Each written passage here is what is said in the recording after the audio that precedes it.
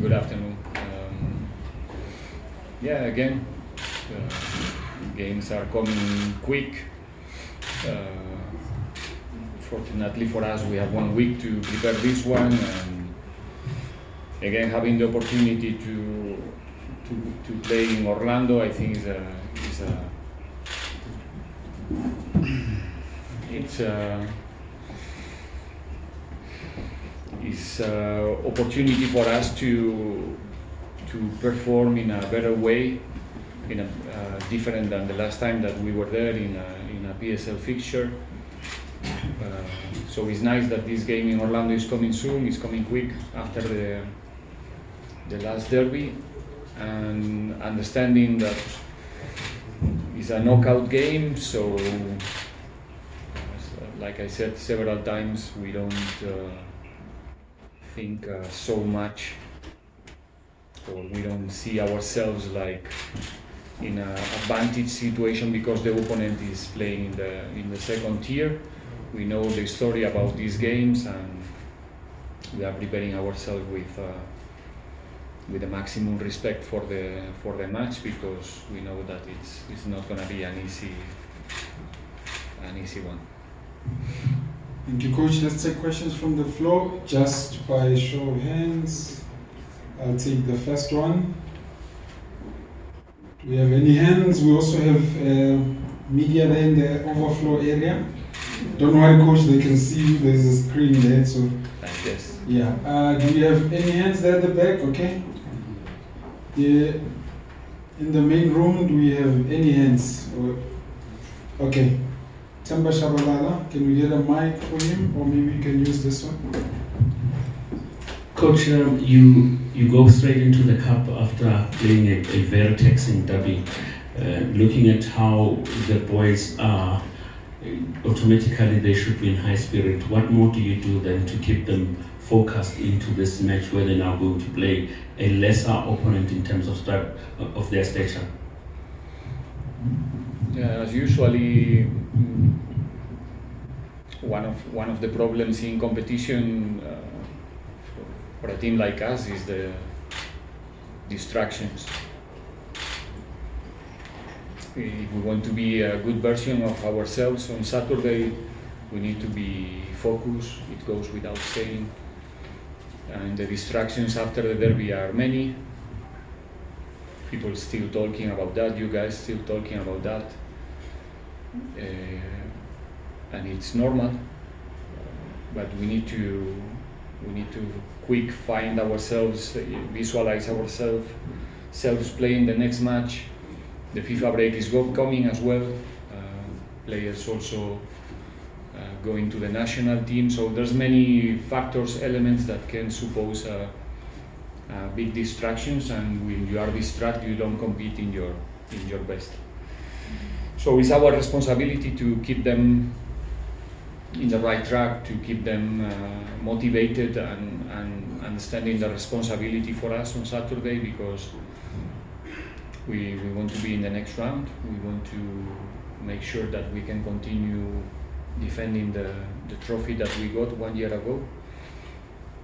And uh, yeah, like I said, it's our responsibility to keep the feet on the ground and and do an extra effort this week before we go to the break to, to make sure that people can continue being proud of what we are doing.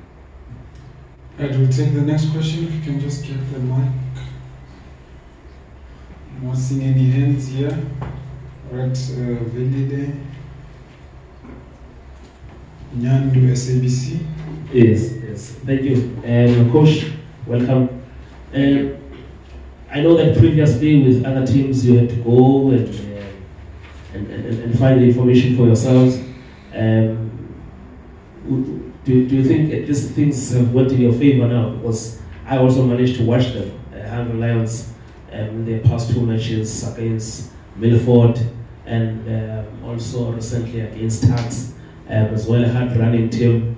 Um, what have you found from what you've been looking at? No, it's, uh, this time it's much more easy to get information about the opponent, so in that sense the, the, the game is balanced. Uh, we know each other very well, I guess, both sides.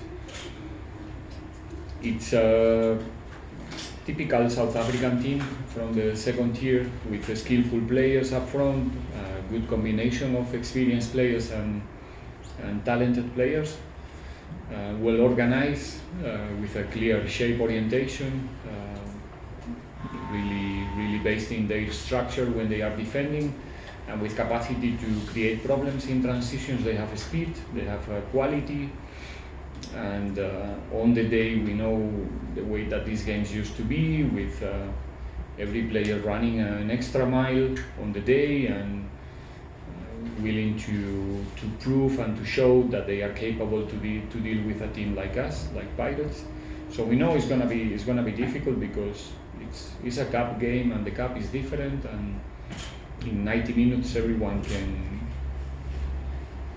with the, with the right frame of, frame of mind, uh, I'm sure that they are going to be a competitive side.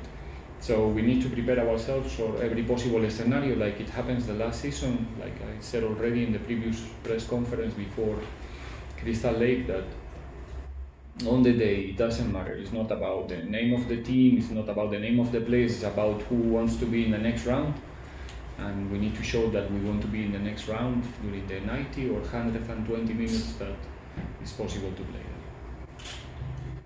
Take the next question. We have question. Maybe just check at the back there. Do we have any? Yes, we've got hands there. Just can't see who. Oh, it's Chloe. Uh, Chloe Grace from Vision View. Coach, um, question. Uh, we saw Alisson Derby summed off in the Soweto Derby, so perhaps talk to us about your health bill going into the weekend. How's mine? Your health bill, injuries, ah. injury update. Um, it didn't change so much. Um, uh, the situation of Evidence Makgopa, Paseka Mako Bandile Shandu, and now we got uh, the suspension of uh, Thabiso Lebitso. He, he came to the team with three yellow cards from Chippa. He showed the fourth one against uh, Kaizer Chiefs, so he's not going to be part of the game. And that's all in terms of uh, casualties or little injuries. Everybody else it's, uh, it's uh, available for the match. I think she was also asking about Olisa. Is he? Olisa, okay no, he's fine. It was uh, something minor. So luckily, he's he's ready to compete again. Thank you, coach. Do we have any questions? Any further questions that side? Lawrence. Uh, coach Lorenzo Mituski Times. Um, obviously, uh, one of your key players that really grown under you, Patrick Maswanganyi, got called up to the national team, and the national team coach, you said, has really grown under your leadership. Um, and might be able to become an important player. Um, just how much have you worked on him to see him flourish like this? Because obviously he didn't score professional goals in African football before joining Orlando Pirates. No, it's not me as a coach. I think uh, it's the, the, the environment, is the players around himself, is the the way we try to play uh, I think he benefits of of that both both things more than the. I, I don't like to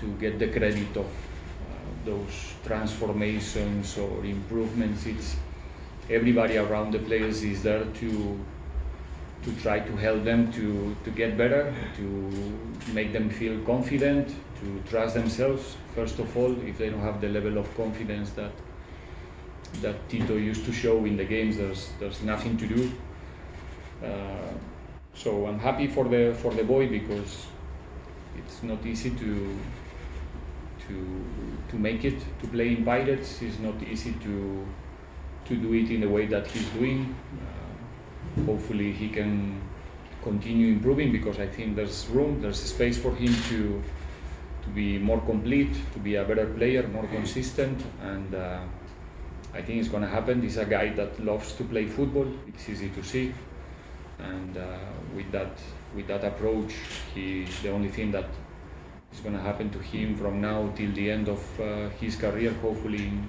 in 10 years or 12, is uh, improvement. So I think his uh, his best version is still still coming.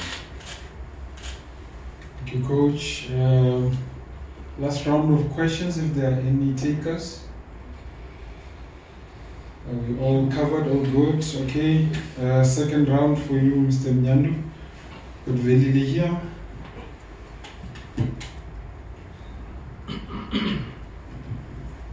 Yes. Um, Coach, maybe continuing on that development of the national team. Um, on Monday, um, Coach Hugo Broos compliment, complimented um, you as PSL coaches, especially for um, the introduction of young players. Um, maybe when comparing to previous seasons, uh, this particular season we've seen more young players, particularly teenagers, um, coming into, into the space. Uh, from an Orlando Pirates uh, perspective, what, what informs your, your plan um, of introducing um, these players? Um, do you maybe wait for a moment where there's no demand for, there's, there's too much pressure? Um, because I, I've seen how you, you've brought in some of the players like Rele and others before. No, really, mm, if I'm not wrong, he came last season in the second half of the season. He came straight to the start 11. He played 90 or 80 minutes against Royal AM at home. So, and, and right now we continue with the process. The process is not is not a straight line. There's up and downs for different reasons. They have to come assimilate what it means to play for Pirates, assimilate the feedback that they will get from every angle, from the media, from the fans. Uh, start the second step, which, which is usually after the first introduction, and getting all the feedback and all the things you know that you have to go through. And there, there might be a second push, uh, like it's happening right now with uh, Rele. I'm using Rele as, a, as an example but it's not about age, it's not about young players, it's about talented players. It's about players with the, the talent to, to, to play for Pirates, which is not an easy thing.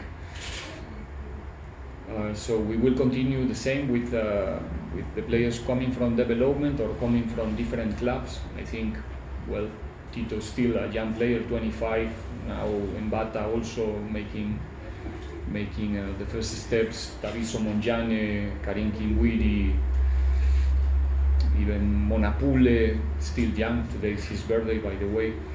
Uh, so yeah, we're glad to see those young players uh, with uh, hungry to still improving the history of the club, improving their own history, and uh, we need that kind of ambition, we need that kind of players, and sometimes we have to accept also that we have to pay some bills because of their introduction in the team and in, the, in our plans.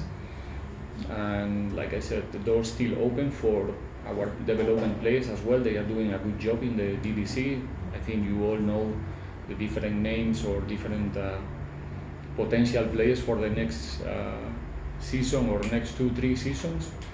And from our side, the door will be always uh, open in the moment that they are ready and they deserve to be there and compete with the ones that that already showed that uh, they are good players for the team. So it's a never-ending process. It will always be the same, and we try to help them to because make the players put the players to play five minutes, ten play, ten minutes, and to say that yeah we are we are helping and we are pushing and we are giving opportunities to the to the young players, I think is is not the correct way, in my opinion, just to get numbers and records and and that credit. We need to do it when the player is ready to be consistent in the team, not just to to show the face and then you, you don't get news of the player anymore.